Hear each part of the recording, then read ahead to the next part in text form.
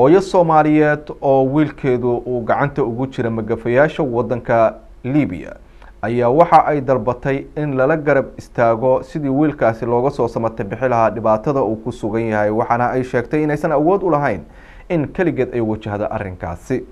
Haddaba waxaa warbixinta warkaasi magaalada gaarisa inooga soo dirtay waryaheena hiba saddex casho ayaad haysataa. Saddex casho wixii ka dambeeya ninka liibiyaankaah wuxuu ballan ku qaaday wiilkaas inuu iibsanayo ama inuu keliyaha kala baxayo.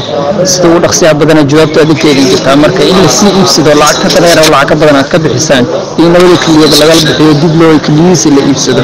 Haddaba caafimaadkiina adinkooda jira waayo adinkaa dhasheen aayatullah shuhur bile waa wiil shan iyo toban sano jir ah kuna dhashay magaalada gaarisa ee xarunta gobolka waqooyi bari kenya wuxuuna ahaa fasalka saddexaad ee dugsiga sare waxaa la waayay bishii koowaad ee sanadkan waqtigii fasaxa dugsiyada dalkani kenya. Hooyo maryan cabdi cali waa hooyada dhashay aayatullah shuhur bile waxayna sheegtay wiilkeeda laga waday magaalada caasimada ee wadankani kenya ee nairobi islamarkaana haatan uu magafa la soo hadlay loona sheegay wiilkeeda lagu hayo liibiya lagana rabo lacag dhan toban kun oo dollar. Haddii lacagtaasi ay keeni weysana waxaa loo sheegay in la dili doono. Hooyo maryan ayaa muslimiinta meel walba ay caalamka ka joogaan ka codsatay in laga caabiyo sidii wiilkeeda looga soo dayn lahaa magafaha haysto iyadoona sheegtay inaysan awood u lahayn lacagta magafaha ka codsaday.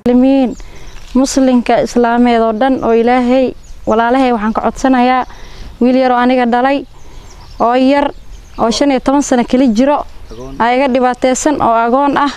Liibiya la iga haystaa. Lacag hal malyanaa la igu sheegtay. Ma haysto. Anaaba guri kodkoto oo dadley oo maxay aheeday?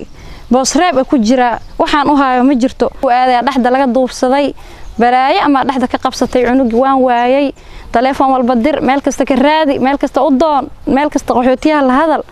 Meel kale oo eydis degan la hadal. Meel kasta la hadal cunugii ma jiraa waan waaynay markaan waynay cunugii aan joogno sujee bil iyo bar liibiya nagalala soo hadlay asagii dilan xabad ku jirto ooynaayo codkiisa laciif uu yahay aa soo wacay amin qamiis ah anoo markaas iida dartiis intaan u soomay afuray. Galbiyaa liila soo hadlay. Waa liiga sugaya hataa iskuulka intaasoo sanada liiguleeya lacagtiisa. Foomtu intuu galoo dhan wixin geeya lacagta waa yartaba liiguleeya ilaa hadda meel aan oga keenaan waayey.